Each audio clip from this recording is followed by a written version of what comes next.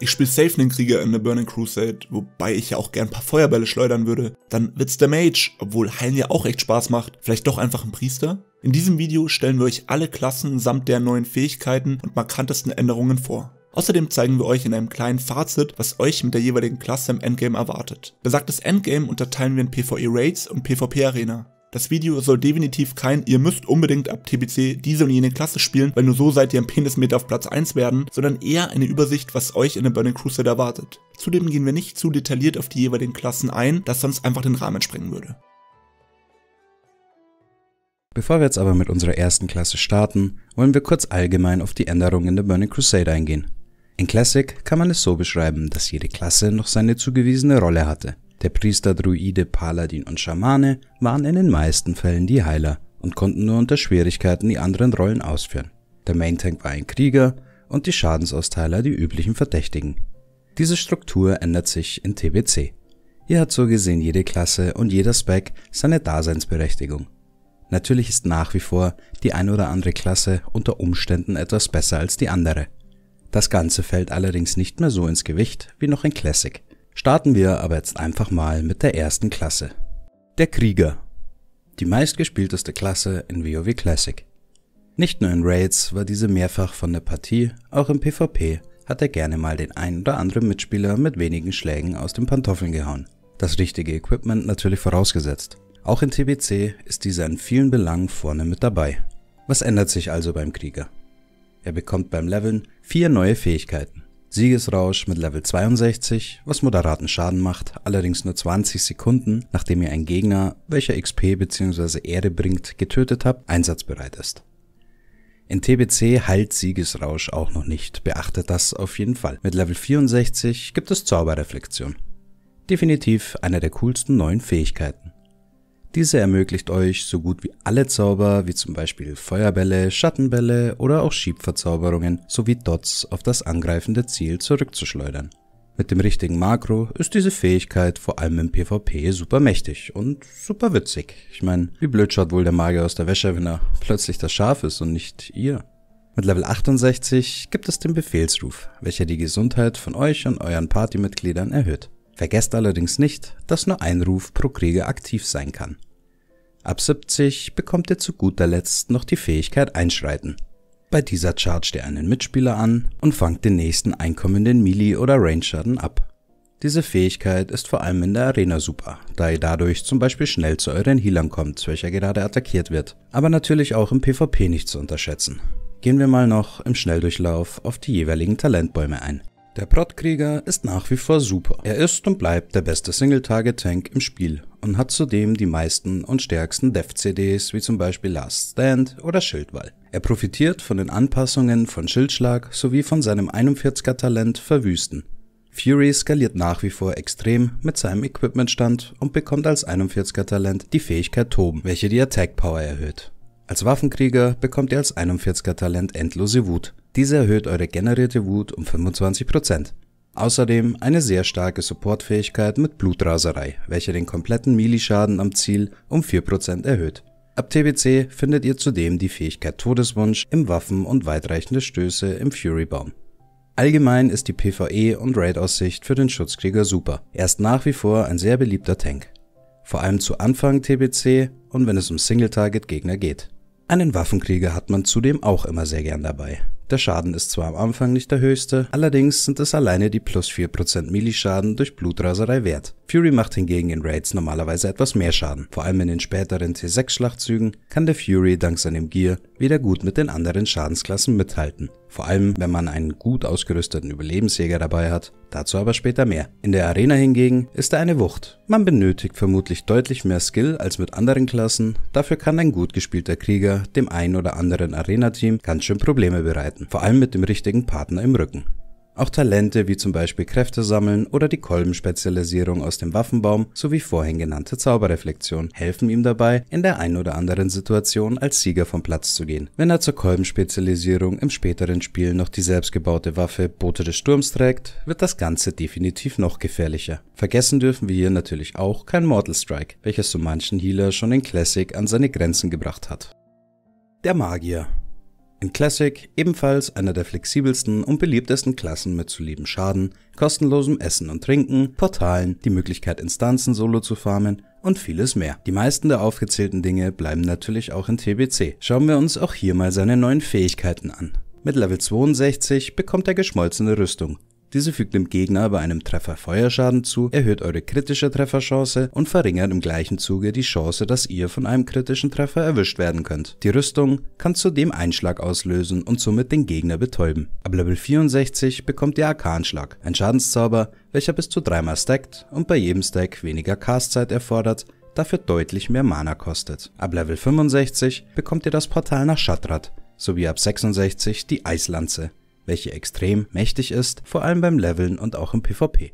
Diese macht dreifachen Schaden gegen eingefrorene Ziele und ermöglicht in Kombination mit anderen Fähigkeiten ein enormes Burst-Potenzial. Ab 68 gibt's die Unsichtbarkeit, welche euch, wie der Name schon sagt, nach 5 Sekunden unsichtbar macht. Auch super, um zum Beispiel im PvE eure Agro zu droppen. Ab Level 70 erhaltet ihr eure letzte Fähigkeit Zauberraub, welche euch ermöglicht, vom Gegner Buffs zu klauen. Er schließt vor allem im PvP komplett neue Möglichkeiten. Allerdings ist die Fähigkeit sehr mana-intensiv und der geklaute Zauber ist random. Man kann diesen also nicht beeinflussen. Außerdem gibt es Tischlein deck dich. Mit diesem Skill kann der Magier mit Hilfe von zwei weiteren Spielern einen Tisch erschaffen, an dem sich Mitspieler bis zu 50 Aufladungen an Mana-Keksen selbst holen können. Die Kekse stellen Mana und Leben wieder her. So muss der Mage nicht für jeden Raid händisch etliches an Wasser und Brot herstellen.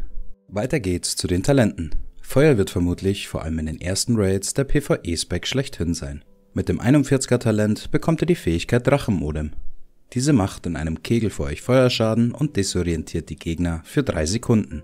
Auch wenn sich das Ganze eher nach einem PvP-Talent anhört, nimmt man es auch gern in einer PvE-Skillung mit. Arkan ist die nächste Ausrichtung des Magiers. Diese wird vor allem ab dem T5-Content zu seiner gängigen PvE-Skillung. Vor allem der zwei Teile vom T5-Set den Schaden von Arkanschlag um 20% erhöhen. Das 41er Talent Verlangsamen erhöht die Movementgeschwindigkeit sowie die Zeit, welche zwischen Angriffen und Zaubern vergeht, um 50%. Ein reines PvP-Talent mit nur Nischeneinsätzen im PvE. Allerdings skillt man dieses als reiner PvP-Magier meistens nicht mit, da allgemein Frost und andere Punkte besser sind. Kommen wir auch direkt zu Frost und somit der letzten Ausrichtung, der PvP-Spike schlechthin. Als 41er Talent gibt es hier das Wasserelementar, welches euch 45 Sekunden dient und sogar eigene Fähigkeiten wie zum Beispiel eine Frostnova kann. Genau hier kommt auch die vorhin genannte Eislanze wieder ins Spiel. Neutral betrachtet ist die Raid-Qualität des Magiers auf jeden Fall mehr als gegeben. Der Schaden ist nach wie vor im oberen Mittelfeld. Da die meisten Encounter etwas melee-unfreundlich sind, kommt das natürlich dem Mage zugute. Vor allem der Feuermagier ist bis in den T5-Content einer der besten Range-Specs im Spiel. Ab zwei Teile vom T5 könnte man sich überlegen, ob man für die Raids nicht auf seine Arkan-Skillung wechselt. Allerdings benötigt dies einen riesigen Mana-Pool, da man deutlich schneller umgehen wird als mit Feuer. Auch der Tisch ist ein riesiger Vorteil für den Raid und spart vor allem Zeit und Nerven. Wollt ihr ambitioniert Arena spielen, kommt ihr vermutlich nicht über einen Frostzweck hinweg. Wenn ihr diesen aber beherrscht, könnt ihr definitiv sehr weit kommen, vor allem im 3 gegen 3, zusammen mit einem Schurken und einem Priester. Der Priester. In Classic war er noch der Heiler schlechthin und wurde nur unter Umständen als Damage-Dealer mit in die Raids genommen. Das ändert sich auf jeden Fall mit der Burning Crusade. Mit Level 62 gibt es die Fähigkeit Schattenwort Tod. Diese verursacht sofortigen Schaden und sollte im besten Fall das Ziel töten, sonst erleidet man den Schaden selbst. Man kann diese Fähigkeit allerdings im PvP auch taktisch einsetzen, um zum Beispiel das Schieb eines Magiers zu brechen. Mit Level 64 bekommt ihr verbindende Heilung, diese heilt euch und euer Target, kostet allerdings erheblich viel Mana. Schattengeist mit Level 66 endlich eine Fähigkeit, mit der ihr Mana zurückgewinnt. Allerdings nur, wenn der Schattengeist auch wirklich Schaden verursacht. Dieser kann deswegen vor allem im PvP schnell gefokust oder kontrolliert werden, kann im Gegenzug aber auch Schurken vom Stealthen bzw. Mana-Klassen vom Trinken abhalten. Im PvE hingegen ist er in den meisten Szenarien sehr nützlich. Mit Level 68 gibt es Gebet der Besserung. Dieses heilt einen Verbündeten, sobald dieser getroffen wird und springt dann auf ein anderes Ziel in der Nähe. Definitiv ein nützlicher und flexibler Heilzauber, gut im PvP und im PvE zu gebrauchen. Mit 70 bekommt er dann noch Massenbannung, Diese entfernt von allen Mitspielern im Radius einen magischen Schadenszauber und von Gegnern einen Verstärkungszauber. Auch diese Fähigkeit kostet leider sehr viel Mana. Mit Level 20 bekommt zudem jeder Priester den schon aus Klassik bekannten Furchtzauberschutz. Diesen konnte in Vanilla lediglich der Allianz-Zwergpriester bekommen, da es dort noch ein Rassenpriester-Skill war. Der Zwergpriester bekommt dafür Züchtigung, eine vor allem im PvP extrem starke Fähigkeit. Schauen wir uns nun mal die Talente genauer an. Als Heiligpriester bekommt ihr als 41er Talent Kreis der Heilung. Mit dieser Fähigkeit seid ihr endlich konkurrenzfähig zu anderen Raid-Healern. Kreis der Heilung ist ein Instant-Heal, welcher einen Verbündeten sowie sich in der Nähe befindlichen Party-Member des Ziels heilt.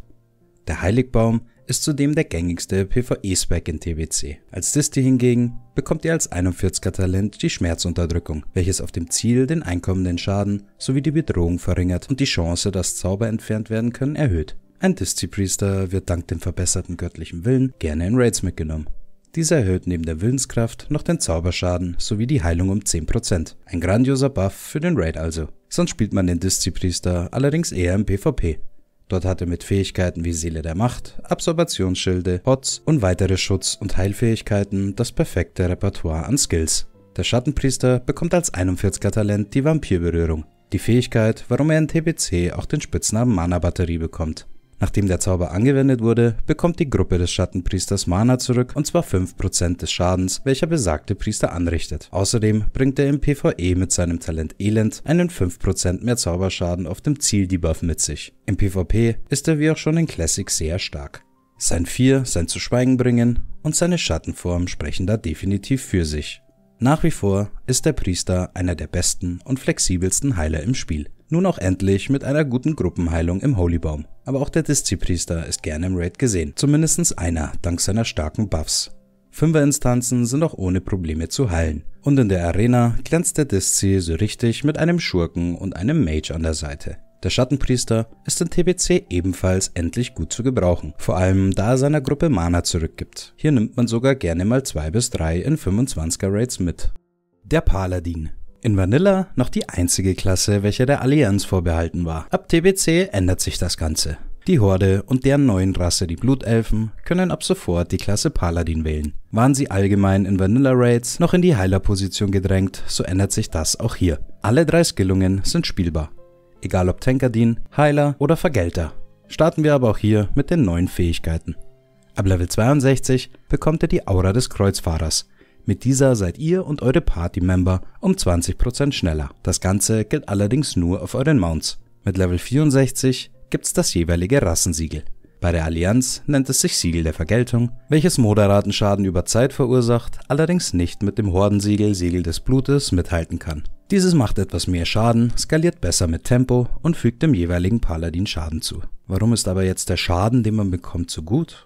Ab Level 66 erhaltet ihr die Fähigkeit Einklang des Geistes. Durch diesen passiven Skill seid ihr in der Lage, bei Heilungen Mana zu regenerieren, was vor allem Prot- und Vergelter-Paladinen zugutekommt. Keine Panik an die Allianzspieler. Ihr bekommt das Siegel des Blutes zusätzlich mit Level 70. Das gleiche gilt natürlich auch für das Siegel der Vergeltung für die Horde. Eine weitere neue Fähigkeit auf Level 70 nennt sich Zornige Vergeltung oder auch die Palaflügel. Mit dieser macht ihr für 20 Sekunden ganze 30% mehr Schaden. Das Ganze ist somit einer der stärksten Damage Cooldowns im Spiel. Ihr könnt allerdings anschließend für eine Minute nicht mehr eure Bubble, göttlicher Schutz oder Segen des Schutzes verwenden. Seid euch zudem bewusst, dass euch die Flügel zum Beispiel von einem Magier geklaut werden können, da es sich dabei um einen magischen Effekt handelt. Außerdem bekommt ihr endlich einen Spott, die rechtschaffende Verteidigung. Diese zwingt bis zu drei Gegner, euch anstatt euren Verbündeten anzugreifen. Der 15 Sekunden CD ist natürlich nicht ohne, allerdings macht das die 40 Meter Range wieder wett. Zudem profitiert nun endlich Fernangriffskraft vom Segen der Macht. Werden sich vor allem die Jäger drüber freuen. Schauen wir uns mal die jeweiligen Specs etwas genauer an. Und starten wir auch direkt beim Heiligpaladin. Dieser ist nach wie vor der beste Single-Target-Heiler im Spiel und das obwohl Illumination von 100% auf 60% genervt wurde. Bedeutet, ihr bekommt bei einem Crit nur noch 60% Mana zurück, anstatt die 100%. Als 41er Talent erhaltet ihr dafür göttliche Eingebung. Diese reduziert eure Mana-Kosten 15 Sekunden um 50%. Den Skill nimmt man also definitiv in jeder Holy Raid Skillung mit. Zusätzlich neu und erwähnenswert ist das Talent Gnade des Lichts welche die Castzeit von Heiligem Licht nach dem erfolgreichen Casten von Heiligem Licht um 0,5 Sekunden reduziert. Als vergelter Paladin bekommt ihr als 41er Talent die Fähigkeit Kreuzfahrerstoß. Endlich eine Fähigkeit, die ihr neben euren normalen Waffenschwüngen und Siegeln regelmäßig nutzen könnt. Kreuzfahrerstoß erneuert zudem alle Richturteile auf dem Ziel. Dadurch müssen sich die anderen Paladine nicht mehr drum kümmern. Der Schaden bleibt jedoch im Mittelfeld.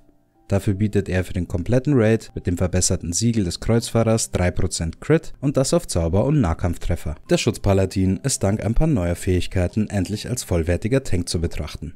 Vor allem wenn es darum geht, mehrere Gegner gleichzeitig zu tanken. Mit seinem 41er Talent bekommt er die Fähigkeit Schild des Rächers ein Range-Skill zum Pullen von Gegnern, welcher bis zu drei Gegner trifft, Heiligschaden anrichtet und das Ziel zudem verlangsamt. Zudem wird er wohl der neue Farmcher für alte Instanzen, da man mit diesem nun verdammt stark alten Content AOE farmen kann. In Raids ist er nach wie vor der beste Single-Target-Healer im Spiel. Dank seiner vielen Buffs und Support-Fähigkeiten ist er in jedem Raid gern gesehen. Als Tank wird er ebenso gerne in Raids eingeladen, vor allem als zweiter Tank bzw. Off-Tank für größere Mobgruppen. Dank Siegel des Blutes, dem moderaten Schaden und diversen Buffs sieht man den Vergelter nun ebenso in Schlachtzügen. Auch im PvP ist der Retri in diversen Kombis gut zu spielen, vor allem dank seinem Burst-Schaden. Als Heiler allerdings relativ unmobil, da er so gut wie keine Heilfähigkeiten hat, welche er im Laufen benutzen kann. Der Jäger. Schon in Klassik war er in jedem Raid zu finden, dort allerdings nicht unbedingt wegen seines herausstechenden Schadens, sondern eher wegen diversen Fähigkeiten wie dem einlullenden Schuss, das Kiten von Gegnern und dem Pullen. In Bezug auf Schaden ändert sich das Ganze allerdings in The Burning Crusade gewaltig. Fangen wir aber mal von vorne an. Wenn ihr den Jäger in Classic gemocht habt, werdet ihr ihn in TBC lieben. Die Stats eures Pets skalieren nun mit euren Stats. Umso stärker ihr werdet, umso stärker wird also auch euer Pet. Zudem gibt es die Fähigkeit Vermeidung für euren Begleiter. Diese verringert den einkommenden AOE-Schaden eures Vierbeiners um 50%. Vor allem in Raids und im PvP eine riesige Erleichterung. Außerdem können alle eure Fallen nun im Kampf gewirkt werden und ihr seid dadurch nicht mehr auf euer Todstellen angewiesen. Allerdings benötigen die Fallen nur zwei Sekunden, bis diese ausgelöst werden. Zudem wurde die sogenannte Dead Zone entfernt. In Vanilla gab es eine kleine Range, in der ihr zu weit weg für Melee-Angriffe und zu nah dran für Range-Angriffe wart.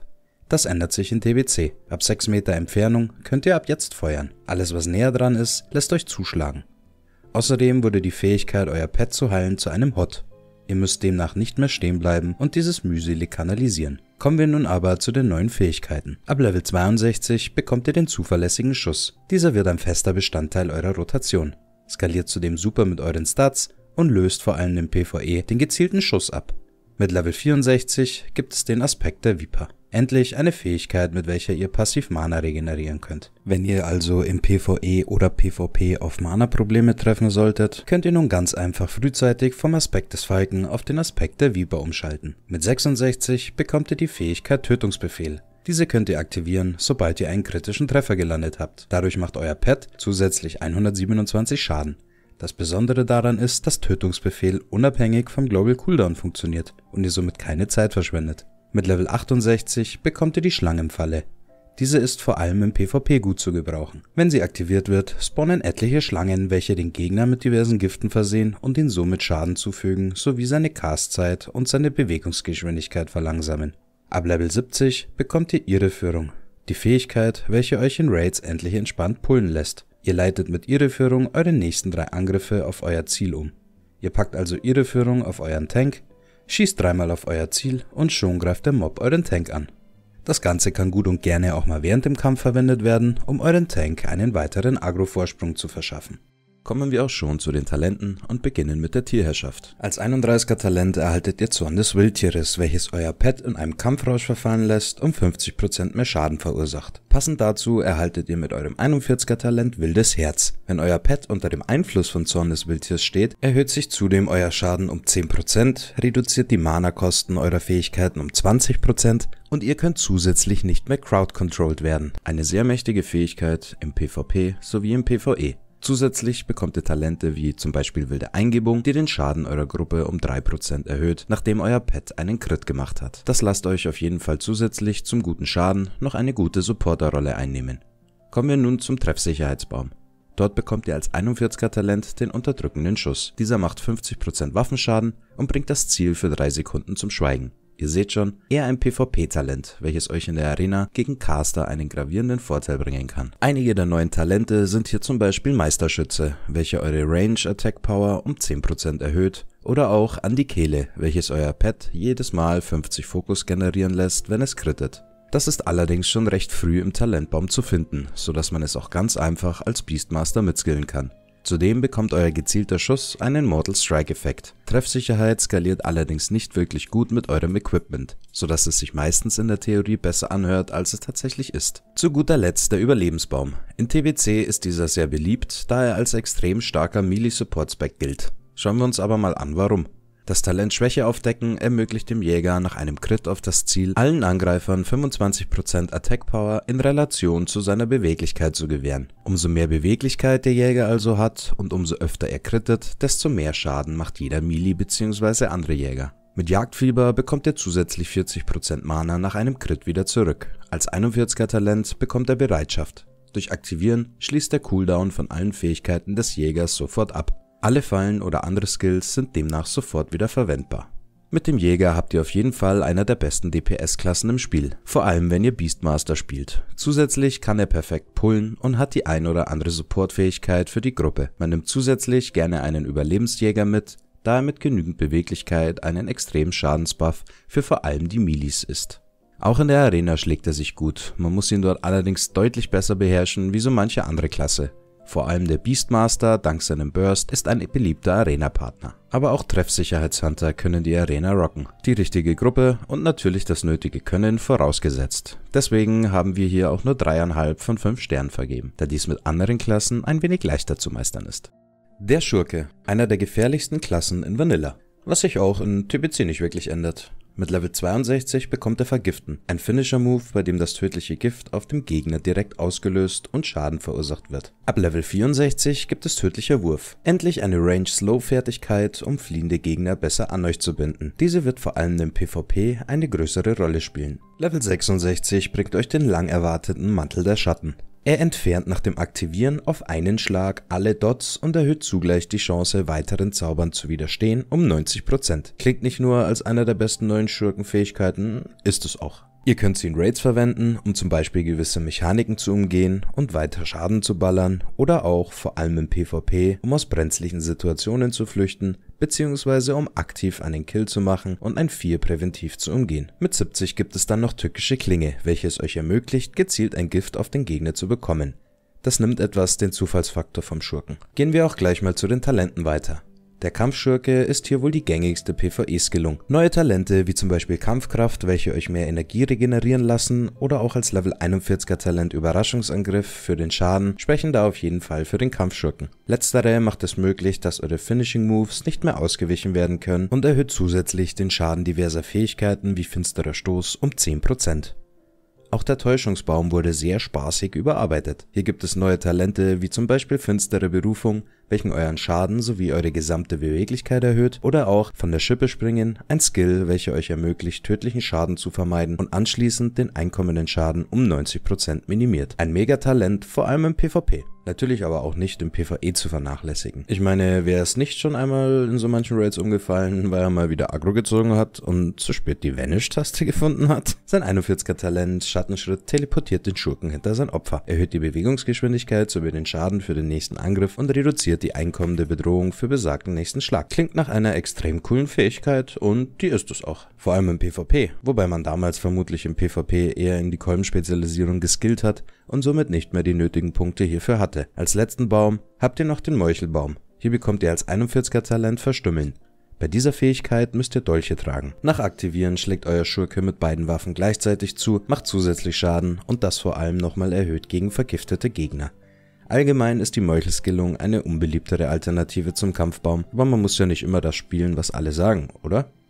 Der Schurke ist definitiv nicht so schlecht in Raids wie alle meinen. Durch diverse melee-unfreundliche Bossmechaniken und vor allem deshalb, weil der Schurke die wenigsten Raid-Utilities wie zum Beispiel Buffs etc. mit sich bringt, wird er gerne mal ins falsche Licht gerückt. Der Schurke macht im PvE vor allem mit passenden Gear und etwas Skill absolut moderaten Schaden und kann gut und gerne oben mithalten.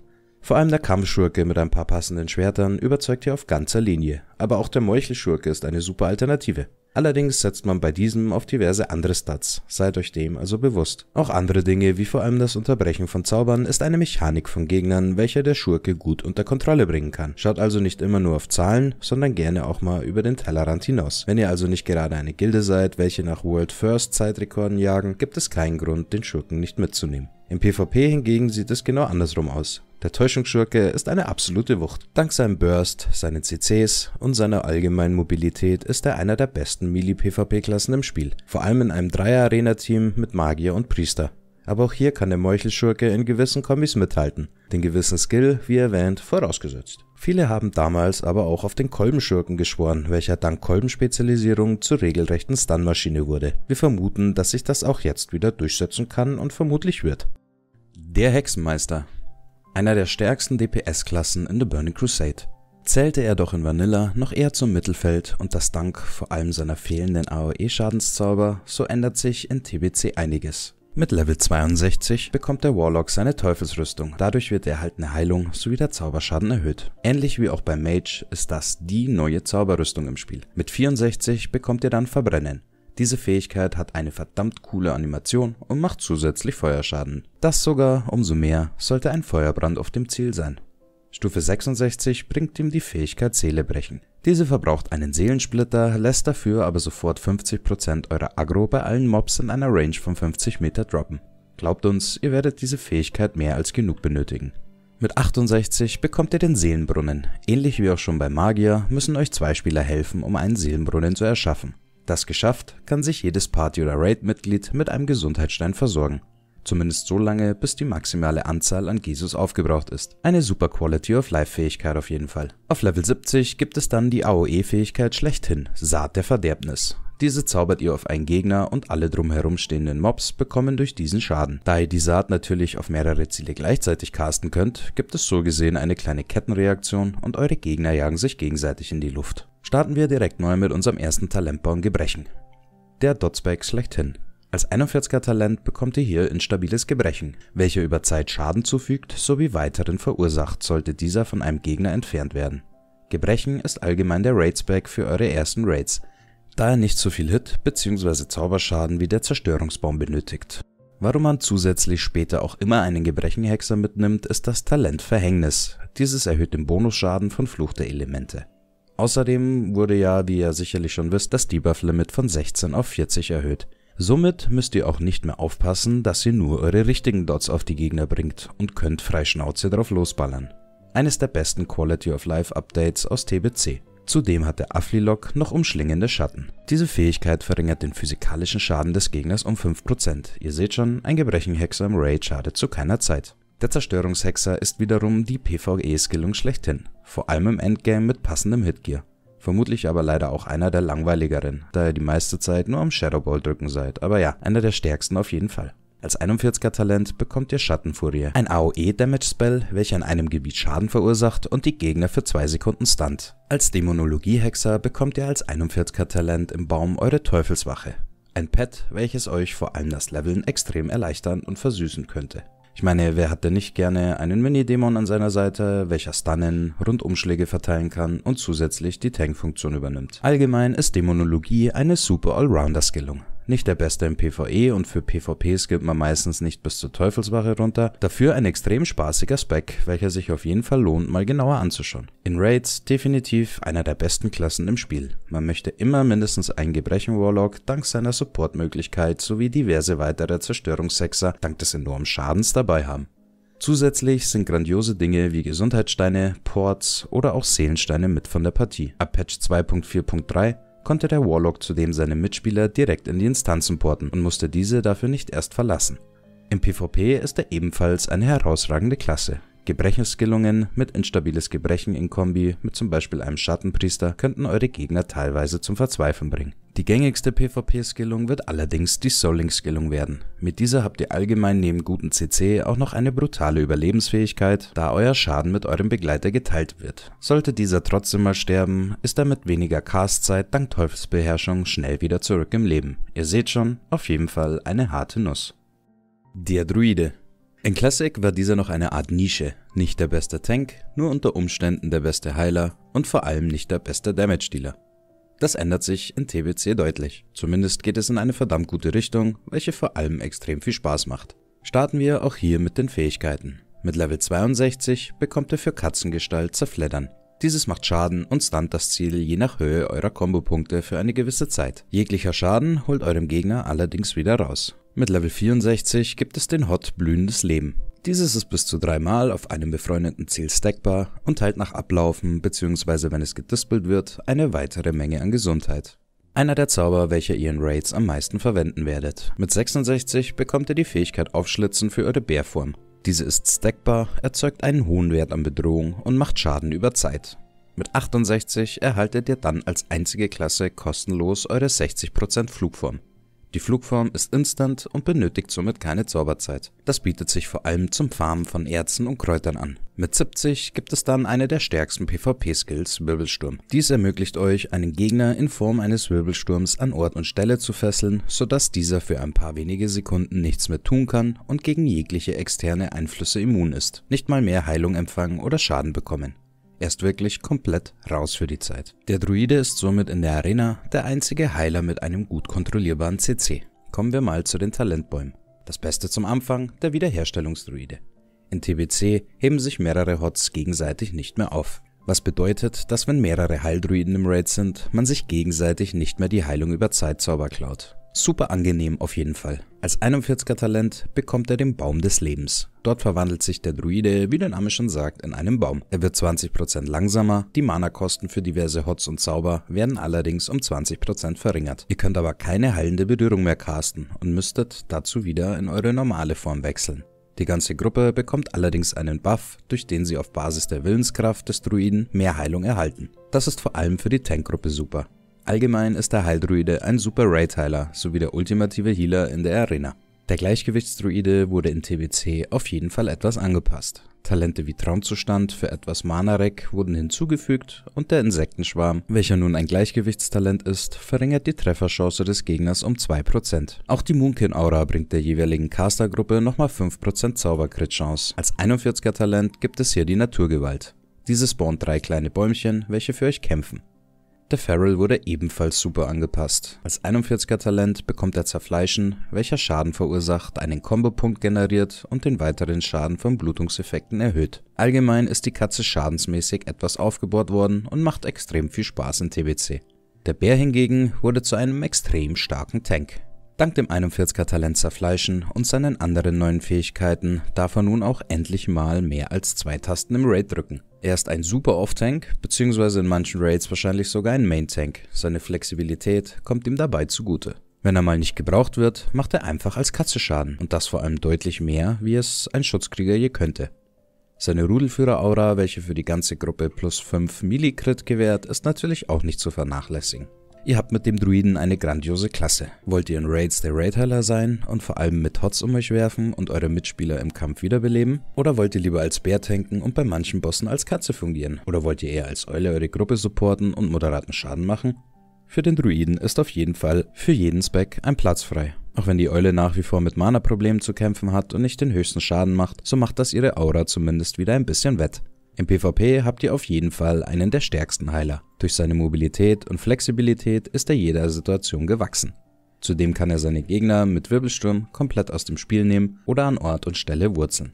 Kommt ihm jemand zu nahe, verwandelt er sich in einen Bären oder rennt in Katzenform mit seiner Sprintfähigkeit einfach weg. Aber auch eine Eule hat starkes Burstpotenzial, das richtige Gear vorausgesetzt, wobei es dort allgemein gegen sehr erfahrene Gegenspieler schwer werden könnte. Der Schamane war dieser in Vanilla noch der Horde vorenthalten, so ändert sich das Ganze ab TBC.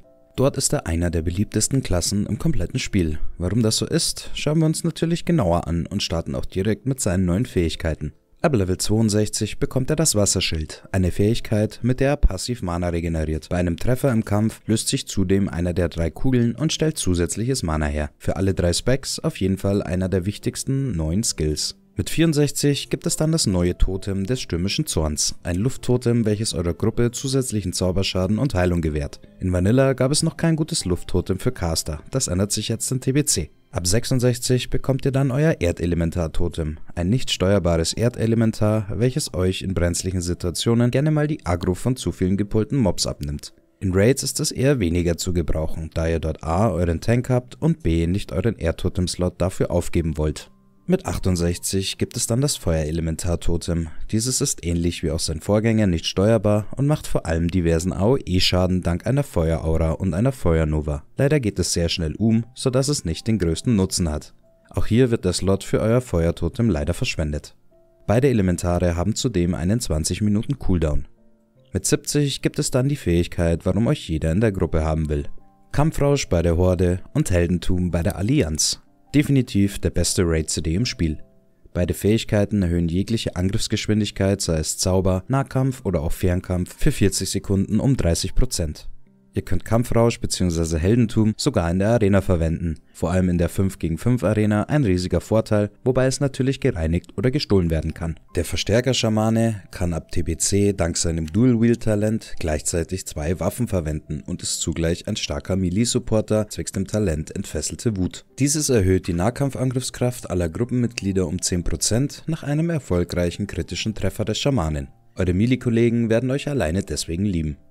Zusätzlich gibt es noch das Talent Schamanistischer Fokus, welches euch helfen soll, Mana zu sparen und ihr deshalb nach jedem Crit 60% verringerte Mana-Kosten für eure Schockzauber habt. Als 41er Talent gibt es eine weitere Fähigkeit, um Mana wiederherzustellen, Schamanistische Wut. Nach dem Aktivieren haben eure Angriffe eine Chance, Mana zu regenerieren. Zusätzlich erleidet ihr für die Zeit 30% weniger Schaden. Auch also ganz gut im PvP zu gebrauchen. Ihr seht, mit den letzten beiden genannten Talenten sowie dem Wasserschild habt ihr einige neue Möglichkeiten wieder an das blaue Gold zu kommen. Als Elementarscharmee wird es ebenfalls recht spaßig. Dort gibt es mit dem Talent Blitzüberladung die Möglichkeit von 20% einen weiteren Blitz zu verschießen, der keine Bedrohung erzeugt und halb so viel Schaden macht.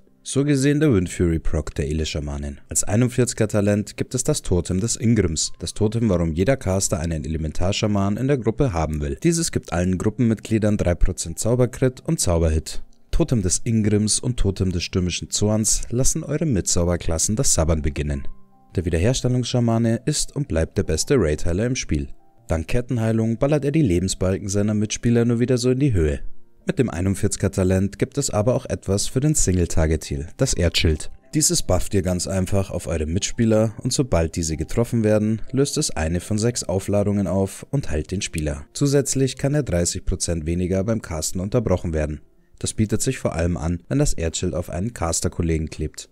Ab TBC könnt ihr zudem via der Fähigkeit Ruf der Totems eure Totems zerstören und bekommt dadurch sogar 25% des Basismanas zurück. Den Skill bekommt ihr sogar schon mit Level 30. Allgemein glänzt ihr mit diversen Support-Totems wie Windfury oder dem Mana-Rek-Totem und könnt euch zudem dank Reinkarnation selbst wiederbeleben. Mit Astraler Rückruf habt ihr zugleich einen Ruhestein, der nur 15 Minuten Cooldown hat. Der Schamane ist einer der beliebtesten Klassen in komplett TBC und wird vermutlich am meisten in den Raids mitgenommen. Moderater bis sehr guter Schaden, vor allem später im Spiel, und grandiose Heilleistung sei Dank. Es wird nicht unüblich sein, dass man bis zu 5 Schamanen pro 25er Raid mitnehmen möchte, vor allem dank Heldentum bzw. Kampfrausch und deren Support-Totems. Im PvP ist er ebenso stark, allerdings ein wenig Skill und vor allem die richtige Gruppenzusammensetzung vorausgesetzt. Der Verstärker und Elementar finden sich vor allem im 5 gegen 5 wieder, da sie dort am besten ihre Stärken verwenden können. Aber auch der Resto ist natürlich in den kleinen Arena-Gruppen spielbar, auch wenn er deutlich unflexibler ist wie seine Kollegen und man einiges mehr fake casten muss.